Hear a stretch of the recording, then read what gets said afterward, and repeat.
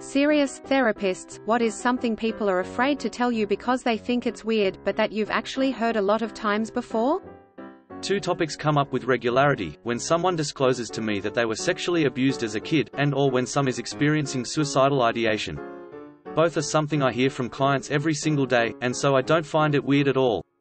But when I have someone in front of me who's talking about it for the first time, I know it's important to validate the fact that even though I might be talking about this for like the fifth time that day, they have never talked about this ever, and are in need of gentle care to feel safe. Yes. That validation was life-changing for me. I talked about my early childhood sexual trauma to a few people and counselors to try to process and was often told that what I went through wasn't that bad, or someone else had it worse. It wasn't until a few years ago that our marriage counselor validated my feelings in front of my husband that I truly felt heard and was able to start healing. I'd say a common one is believing that there's something innately, irreparably wrong with them that makes them unable to ever truly fit in. For a lot of people it's such a deeply ingrained belief that it can be extremely painful to acknowledge or express, regardless of the level of personal success in their lives. The worst is knowing beyond doubt that you are holding a false belief about yourself and yet not being able to change it.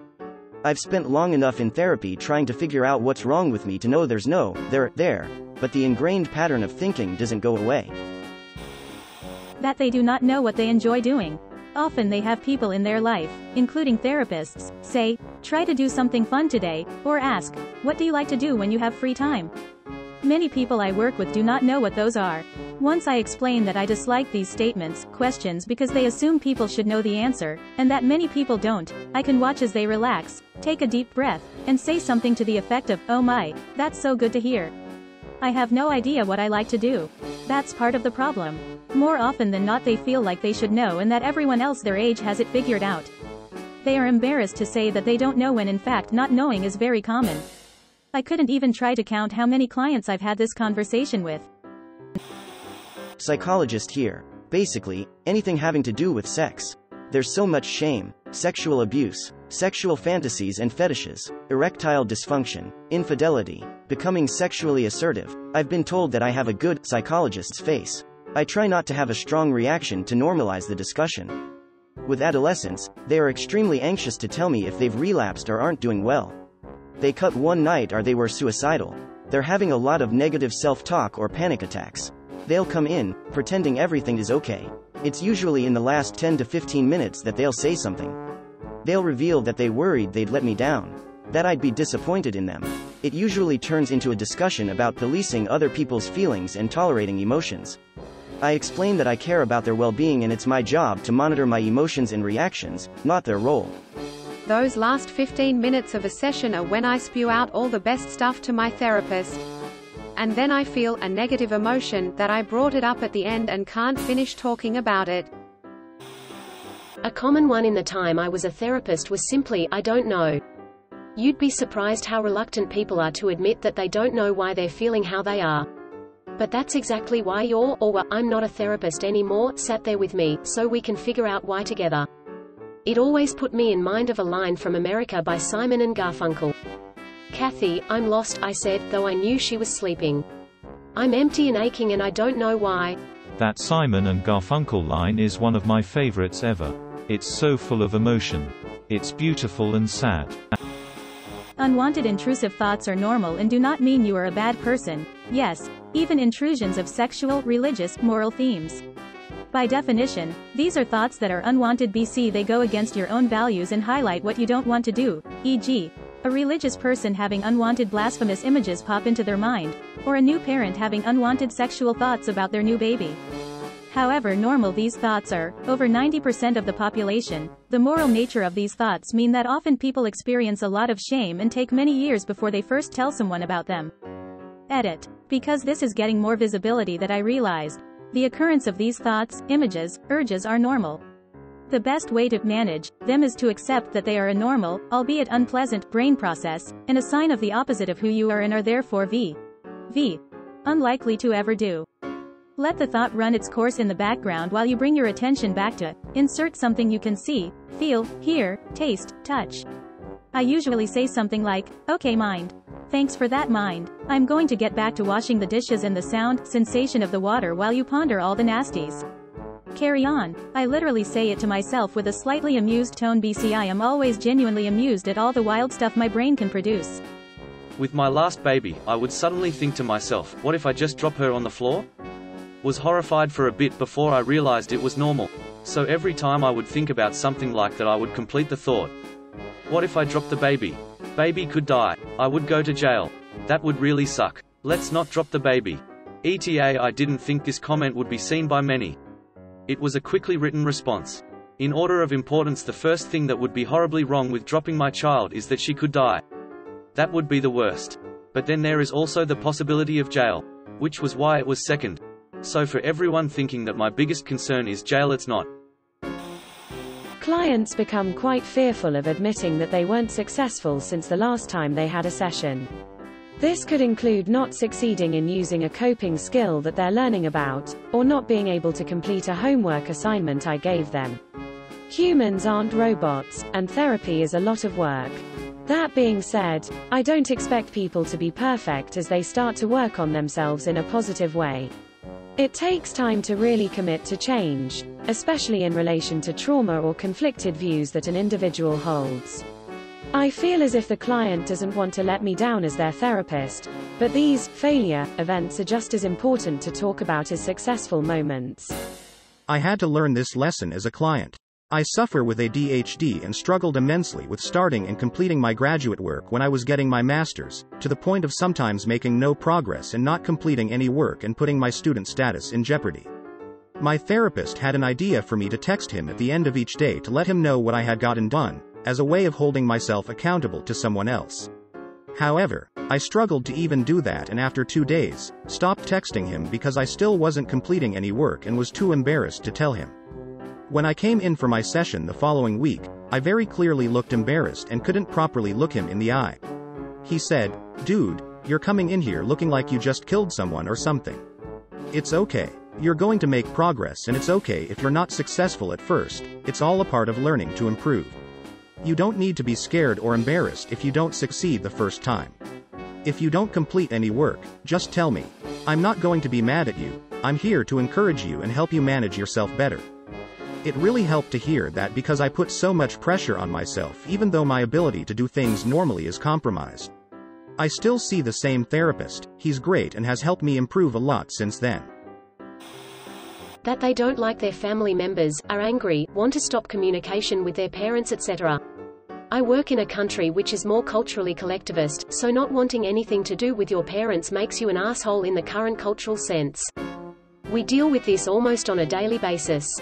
There is deep and profound shame in this and when we find that line of, oh, it might be that your parents are toxic to your mental well-being, trigger your trauma, many of my clients actually get visibly angry with me. Cultural psychology is so important, cause when I first moved here I had my American, European hat on, oh boy, did I need to adjust. Edit, I'm in Ukraine Ukraine. Hypersexuality after some sort of sexual trauma. Psychologist in the US.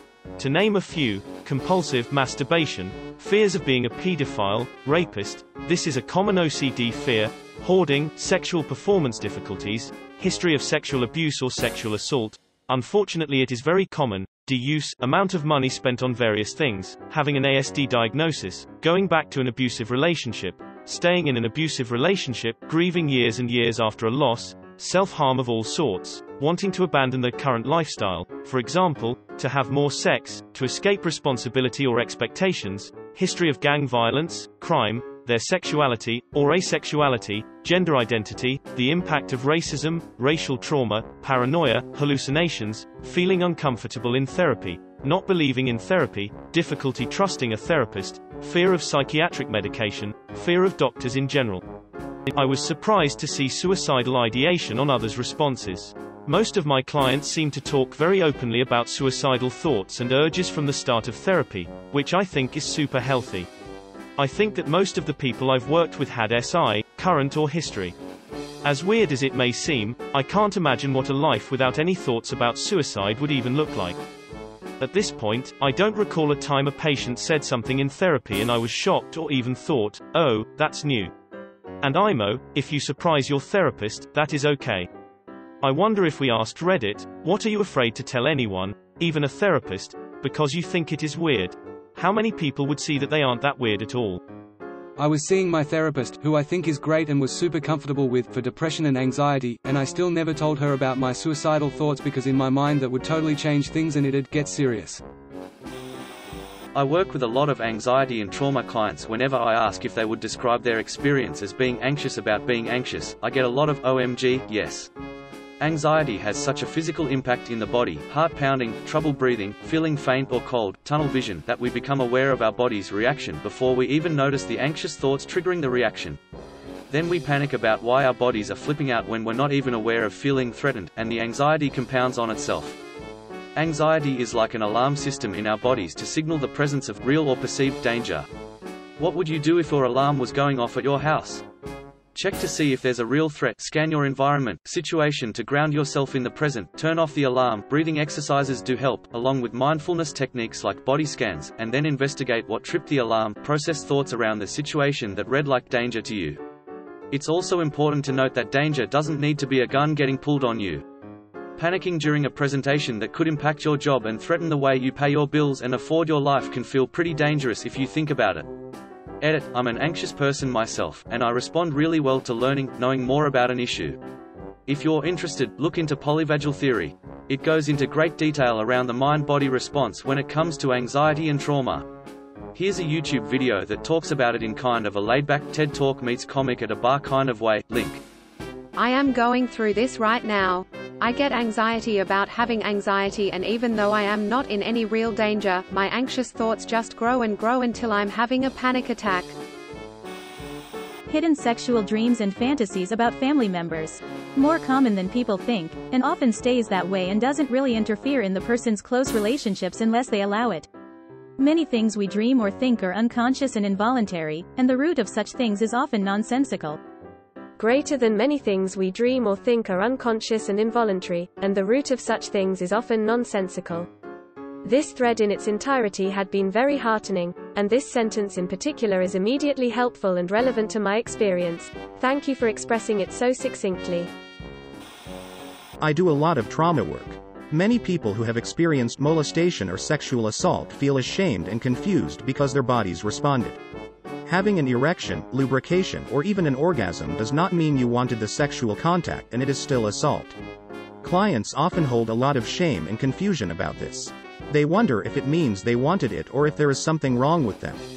It is a tough thing to work through because of this. Assault is assault. Sometimes human bodies respond to sexual touch even when we don't want that touch.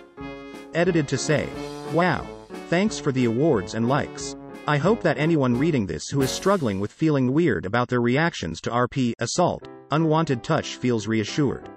I also hope you find a good therapist or a good friend to talk to about this. It is one part of your life story, but it isn't the story of you. You get to craft the narrative of your life. Maybe this is a chapter in that story, but it is not the whole thing. Trauma is a thing we experience, it doesn't get to define who we are. Someone once said it's like tickling. You laugh when you get tickled even though you don't want someone to tickle you. Usually it's sex-related. Shame about their desires or kinks is common. Gender questioning is another. Some people are ashamed of things they did in childhood or adolescence, haven't ever told anyone and think the team will be horrified. We have heard everything, everything. I'm always compassionate and always understand why we do the things we do. I've yet to have anyone bring something I can't get, what would you consider a healthy way to deal with past actions we are ashamed of? Seek to understand why. So, if it was, say, stealing, the part of us that stole, had a good reason for doing that. It could be, I needed the money, thing, it made me feel better because I was lonely, I was angry at them, so I took something. It almost always comes from an unmet need, money, love, acceptance, to be valued, important etc. We do everything in aid of our survival. If you can be curious about the positive outcome you sought and the need you were meeting through the behavior it helps to then have compassion. Example. I've heard of abuse victims then experimenting with other children and feeling terrible guilt and shame. When explored, it showed that they sought to have control, to connect, to feel some sense of agency, to be less alone. All of which is completely understandable and to a degree, worked. They did feel connected, in the only way they knew how. They did feel a sense of agency and control that helped them survive. They weren't trying to cause harm to another child, only to be less alone with their own pain. This behavior had not continued into adulthood and they were seeking peace. Knowing this helped them to care for the child in them who had suffered so much. To let go of the guilt and shame and start to live more. They sought to learn how to play, how to have fun, how to connect in new and different ways. They helped other people in recovering from abuse. Shame seeks to isolate us and healing only happens as we come out of isolation. Some of the most common ones have been visual and or auditory hallucinations and suicidal thoughts. I usually hear I don't want to be put in the hospital or I don't want you to think I'm crazy. Also, basically anything sexual. I'm not going to judge you for being into BDSM, fetishes, etc. Honestly, I've probably heard it before and I'm not here to judge you. Same goes with any non-consensual experiences, especially if we're working through trauma. Every time I meet with a therapist for the first time I tell them I've had suicidal ideation almost non-stop since I was a kid, and that it's normal for me. The first time I got hospitalized, it was because I told someone I was having suicidal thoughts and they called the cops. The whole scenario was traumatic and I am terrified of it happening again. If I have any thought a therapist might try to hospitalize me because I'm having suicidal thoughts, which, again, are normal for me, then I can't trust them enough to be my therapist. It took me a long time to be comfortable saying it out loud without fear of hospitalization. OCD gets misunderstood a lot. It's not just having a clean house or liking things to be organized. Common intrusive thoughts can include violent thoughts of harming children and other loved ones, intrusive thoughts of molesting children, fear of being a serial killer, etc. My clients can feel a lot of shame when discussing the thoughts or worry I will hospitalize them. Edit. Thanks for the awards, kind internet strangers. Here are a couple quick resources for people who have or think they may have OCD. International OCD Foundation website www.iocdf.org. The book Freedom from OCD by Jonathan Grayson. The YouTube channel OCD3. The app NOCD. Mine was intrusive thoughts about bad things happening to my pets and children, and I would obsess over them. Then it became, if I don't say out loud that I'm thinking this bad thing could happen, like child choking on a cracker while with their grandparents, then it will definitely happen. That spiraled into checking and rechecking 7 to 8 times the freezer every time I opened it to make sure a child or cat hadn't gotten in there without me seeing somehow, totally irrational. But my brain told me if I didn't check, it would have happened and been all my fault. Then the same thing started happening with the door and window locks, the dryer, the washer, nothing was off limits with my brain. It was wild. I ended up working through it on my own by reading a lot of what helped other people. But it was totally out of control and took over my whole life at one point. As someone in the substance abuse field I know that it's difficult for clients to tell me they got high with a parent but it's something I get told fairly regularly. It's kinda sad. I've had patients tell me their parents used to give them DG as kids to basically sedate them. It's soul crushing. Women often feel really ashamed when they tell me they are burnt out on being a parent or that they never want to have kids. I wish all of them knew how common this thought is. That they haven't had sex with their partner in years and don't know how, if they will ever have sex with their partner again. There is so much shame around sex in the USA that a lot of people are scared to talk to their partner about their sexual needs. Time goes by, and suddenly they haven't had sex in 3, 5, 10 years. It starts for a lot of people in their 40s and 50s. A lot of people, falsely, believe there is something wrong with their marriage because they fantasize about people other than their partner. My wife and I have been married seven years and I swear she turned asexual the past year. She gets upset if I put my arm around her at night because it interrupts her 45 minutes of scrolling through Instagram before she falls asleep. She accidentally put her arm on top of me one night and I still think about it sometimes because I miss being touched so much. Being tired of being a mother. There's this social thing of loving your kids and they should be the first thing in your life, but having a child is messy and a real hard work, is normal to just want to take a break once in a while from all that responsibility. I'm support worker, social worker, not a therapist. I've had clients too scared to tell me their accomplishments because they think they should only be bringing their problems to case management and that if we see them getting better that we won't care, prioritize them as much. Another is hard DG.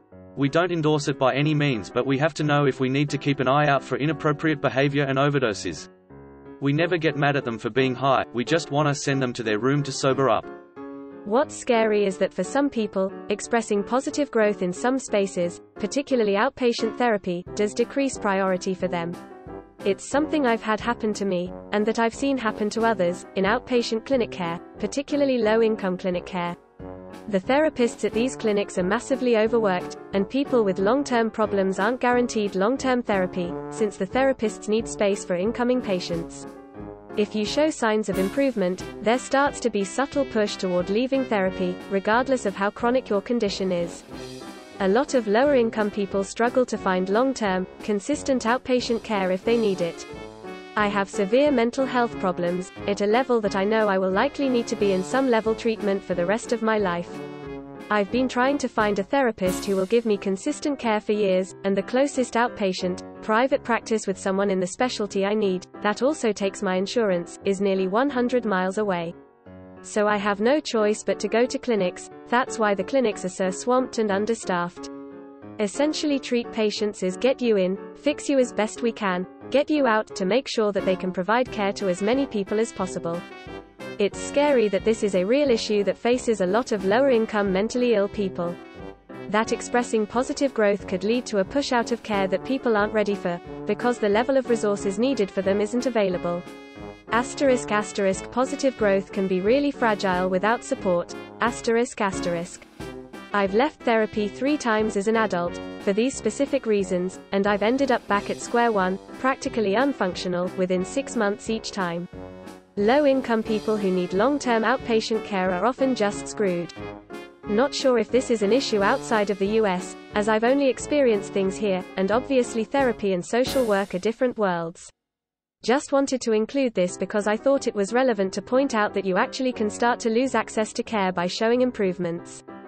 I very much agree with your point. Mental health care is not as much endorsed as physical health. Therapy takes years to get to the root of issues and traumas but they think it should be as easy as slapping on a cast and moving on. There is a large demand and not enough supply.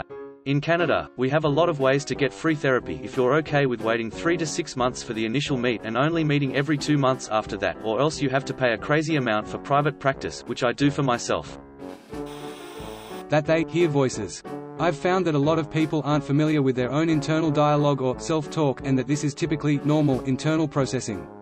A lot of people think that they are hearing voices and hallucinating. There are some pretty simple questions we can ask to determine if it's hallucinating or just internal dialogue, and most often it's the latter. Edit, I want to clarify that not everyone has an internal voice. Some have none at all, some have more of a system of thoughts that aren't verbal, feelings, or images. That's normal too. Edit 2, thank you for the awards, I don't think I've ever had feedback like that. Phew. Edit 3, I am really happy to answer questions and dispense general wellness suggestions here but please please keep in mind none of my comments etc should be taken as a substitute for assessment, screening, diagnosis or treatment. That needs to be done by someone attending specifically to you who can gather the necessary information that I cannot and will not do via Reddit. Could you share what some of these questions are?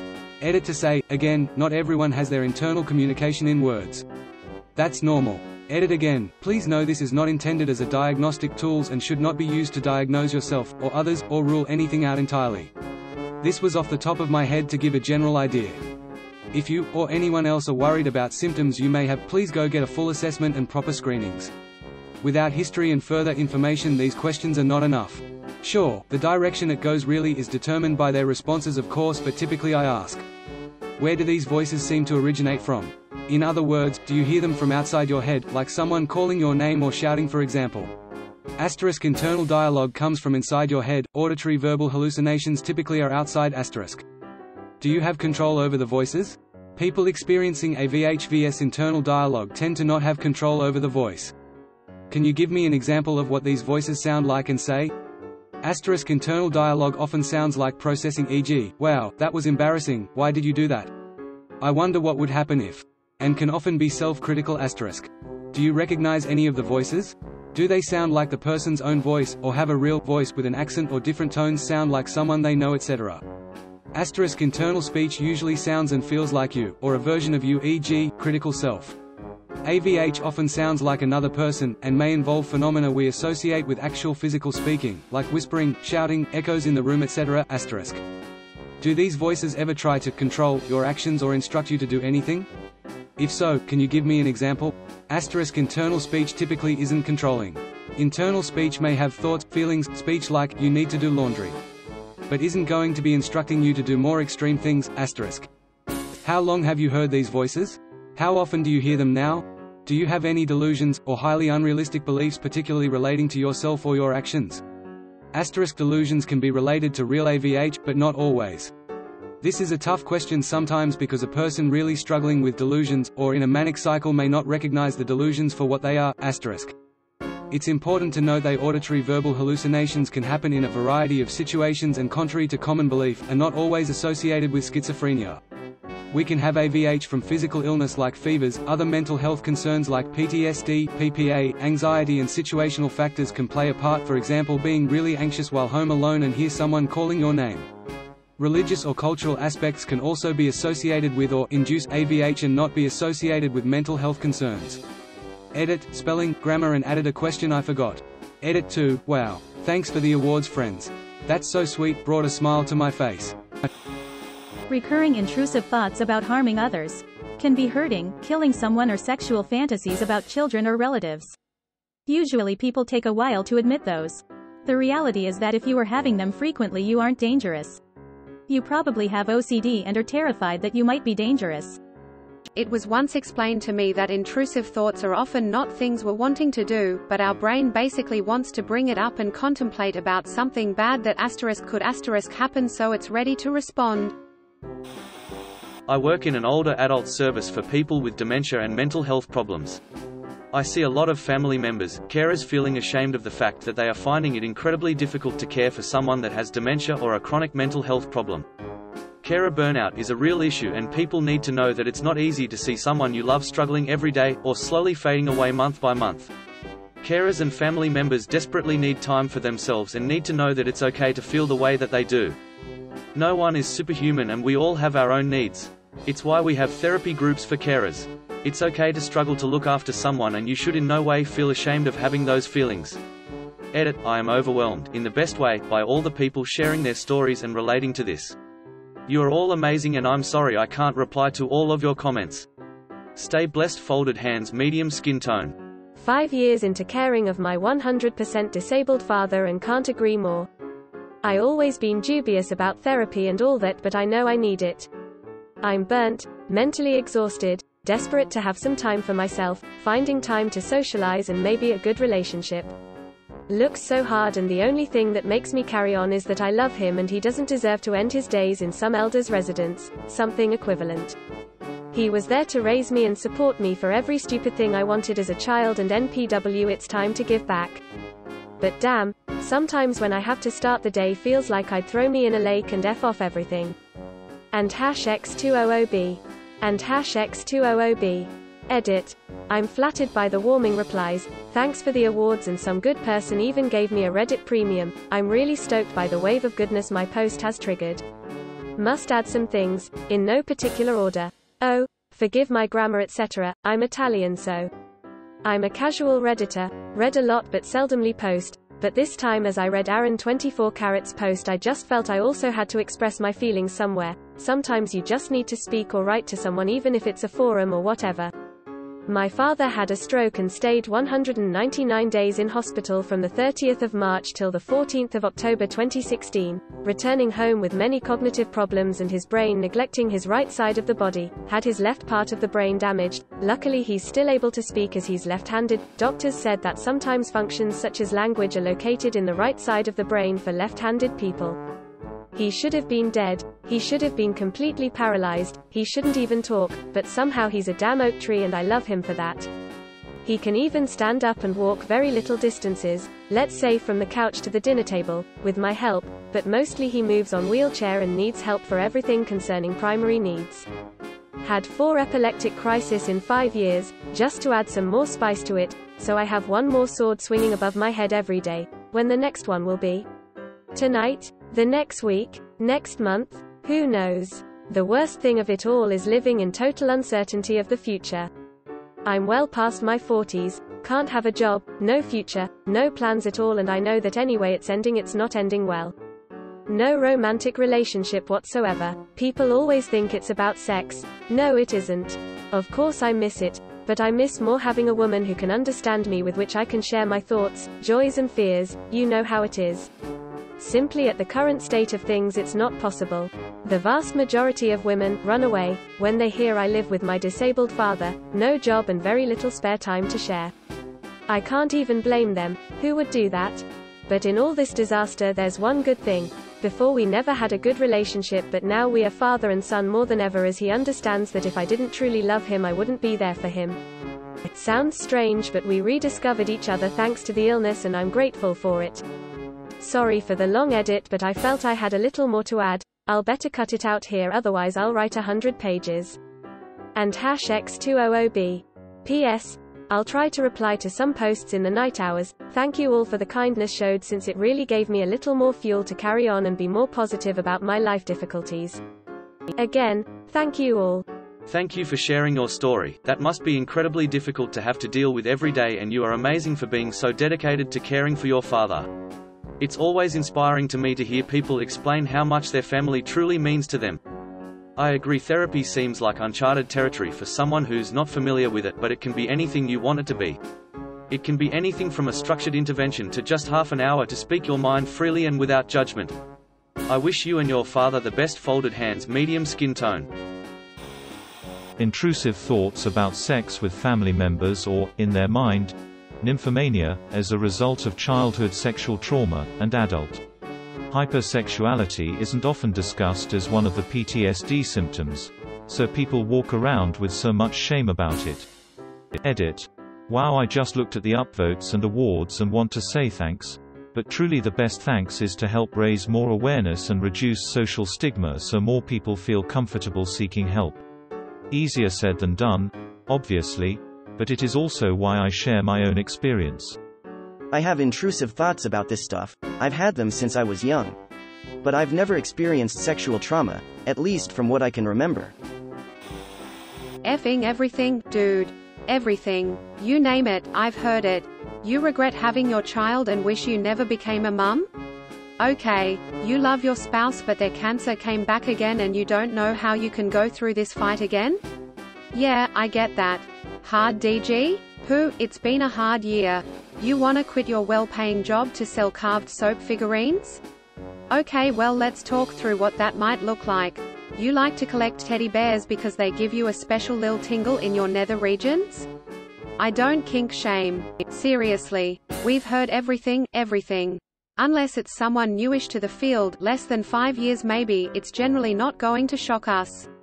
And whatever it is, even if it does seem a bit of a unique circumstance, we'll get the underlying feeling under it. In the end, everyone wants the same overall things, to feel heard, to be loved, to take care of their loved ones, to manage stress, etc.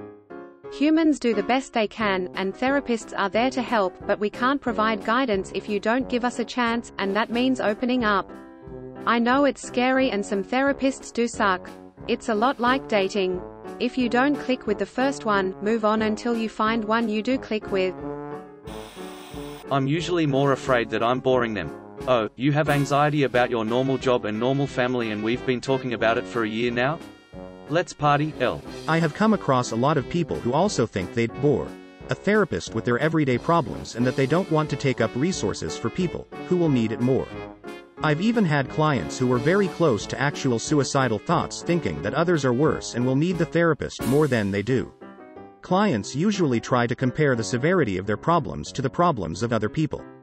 That doesn't work. As soon as somebody has the urge to talk about their problems, the client and their issue needs to be taken as seriously as the next client's.